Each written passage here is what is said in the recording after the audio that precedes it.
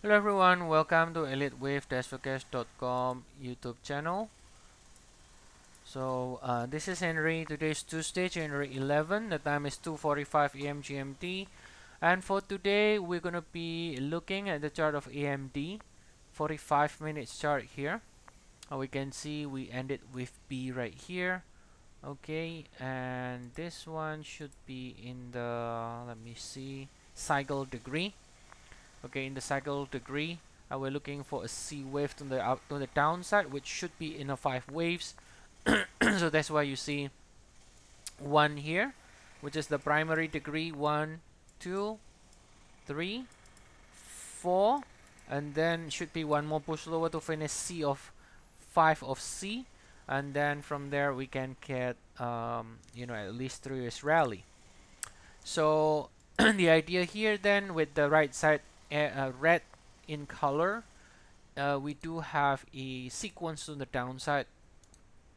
And therefore favoring more downside now and rally uh, should fail in the sequence of 3 7 11 swing against 156 for for the downside.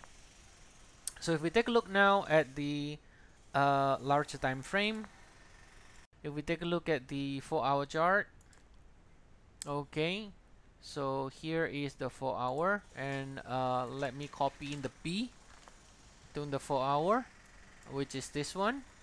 So it's very simple. If this is the B then that means this is your A and that means this is the starting point which is the December 2021 and simply then what that what it means is we are now doing a 3 years pullback ABC in which this is your 100% extension right here 100% to 161.8 and if this is an ABC uh, so you can see I can copy one two right? And then three four five. So that means that we're looking for a uh, 4 and then a 5 to finish the C right? Something like this. Something like this basically and then a 5 and then we can get a we can get at least a 3 rally from here. If not going to new high if it is still bullish then at least 3 rally.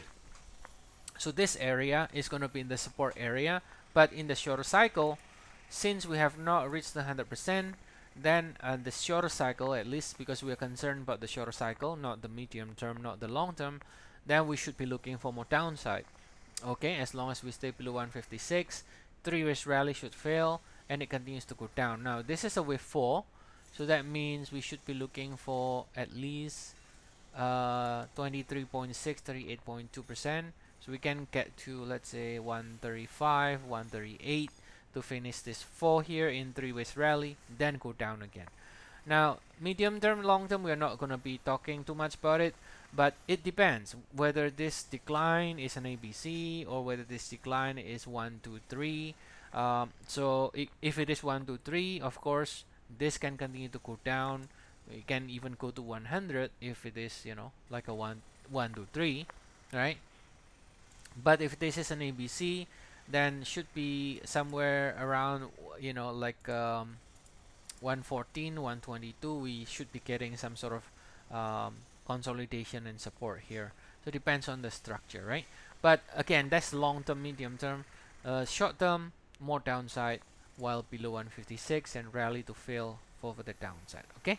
So that's the update here and as always if you do want to get regular updates on stocks ETF um, indices forex commodities we do have um, 14 days trial right? The link is provided in the description of the video. So I'll see you all again tomorrow and have a nice day everyone